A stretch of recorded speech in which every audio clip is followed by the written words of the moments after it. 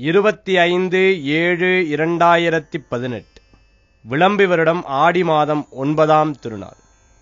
புதன்கிழமை. இன்றைய நட்சத்திரம் மூலம். இன்றைய திதி துவாதசி. சந்திராஷ்டம நட்சத்திரம் கிருத்திகை ரோகிணி. நல்ல நேரம் காலை ஆறு மணி முதல் ஏழு மணி வரை. ராகு காலம் மதியம் பனிரெண்டு மணி முதல் ஒன்று முப்பது மணி வரை.